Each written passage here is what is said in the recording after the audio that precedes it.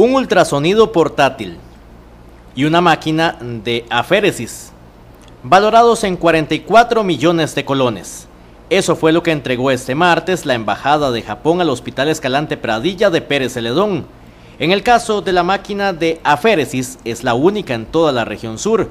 Este equipo se utiliza para realizar transfusiones de sangre. Por lo menos la máquina de plasmaféresis, sí, ella es única, es el único hospital de toda la zona sur que, va a contar con, con, el aparato. Con este vamos a poder separar las células de la sangre, glóbulos rojos, glóbulos blancos y plaquetas, y para luego este, darlas a los mismos pacientes.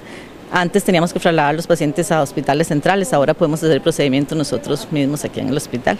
El ultrasonido portátil que fue donado por los japoneses irá destinado al área de emergencias. Además, se utilizará en los servicios de medicina interna, neurología, radiología, anestesiología y en cuidados intensivos. Eh, es la entrega de un ultrasonido que se va a usar en emergencias, un ultrasonido de última tecnología que viene a ayudar al diagnóstico de pacientes y un equipo también de banco de sangre.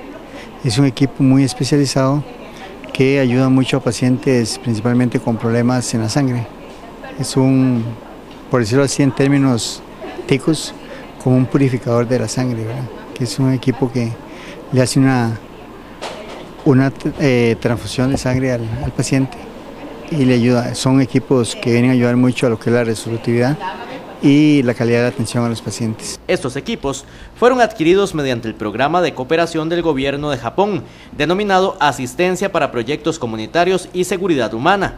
Ese programa tiene como objetivo realizar proyectos comunitarios para solventar las necesidades básicas con el fin de mejorar la calidad de vida.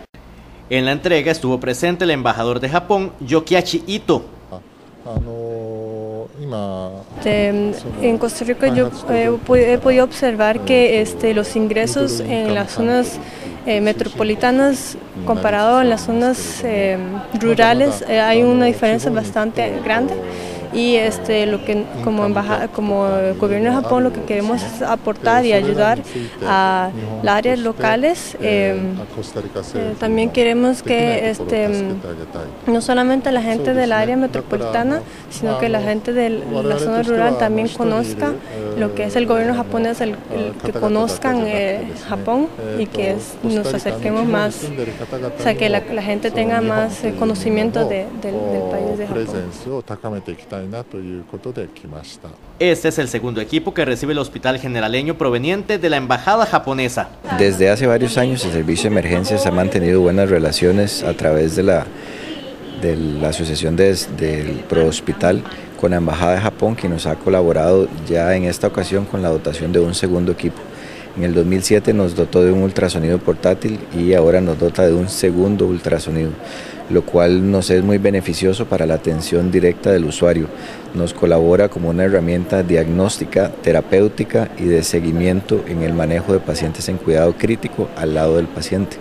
Entonces, toda herramienta diagnóstica de alta tecnología para un servicio de emergencia siempre es muy valiosa. Con la máquina de aféresis se beneficiarían unas 4.000 personas por año, mientras que con el nuevo ultrasonido llega a colaborar con unas 35.000 personas de la zona sur.